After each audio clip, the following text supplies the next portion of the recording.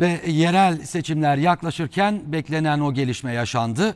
Kulislerde bir süredir Şişli Eski Belediye Başkanı Mustafa Sarıgül'ün siyasete geri dönebileceği konuşuluyordu ve Sarıgül bugün aday adaylığını açıkladı.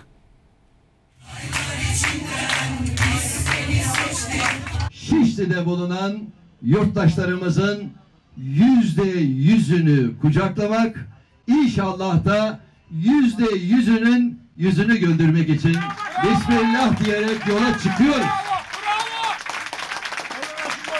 Aday adaylığını açıkladı. Yeniden yeni Şişli dedi. Şişli'mizi yeniden şahlandırmak için güzel bir yolculuğa çıkıyoruz. Şişli eski belediye başkanı Mustafa Sarıgül bugün CHP Şişli ilçe teşkilatına gitti. Partililer Sarıgül'ü büyük bir coşkuyla karşıladı. Her mahalleye, her sokağa gireceğiz. Tek tek sıkmadığımız el inşallah çalmadığımız kapı kalmayacak.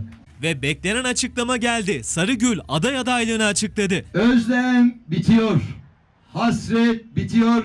Yeni Şişli için güzel bir şekilde yollara çıkıyoruz. Şişli bir rekora imza atacak. En yüksek oyu Şişli olarak biz alacağız. Şimdi gözler CHP Genel Merkezi'nde. Sarıgül aday gösterilecek ve merakla bekleniyor.